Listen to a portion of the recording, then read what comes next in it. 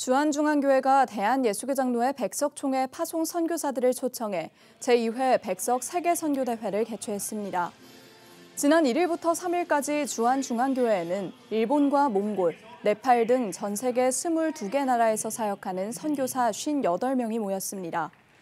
선교사 시상식과 성도들과의 만남 순서 등이 진행됐으며 인천광역시장과 인천 서구청장 등도 참석해 축하와 격려를 전했습니다. 장종현 대표 총회장은 영상을 통해 힘들고 어려운 상황에서도 선교의 사명을 다하시는 선교사님들의 수고를 하나님이 다 알고 계실 것이라며 세계 선교대회를 통해 하나님 앞에 무릎 꿇고 받은 사명을 새롭게 다짐하고 개혁주의 생명신학으로 민족과 세계를 살리는 역사가 일어나길 기원한다고 축사를 전했습니다. 백석 세계선교대회는 지난 2022년 코로나 팬데믹으로 어려움을 겪고 있던 선교사들을 격려하기 위해 주한중앙교회 성도들이 직접 준비위원회를 조직해 처음으로 개최됐습니다. 주한중앙교회는 이번 대회에서 선교사 32가정에 100만 원씩 후원금도 전달했습니다.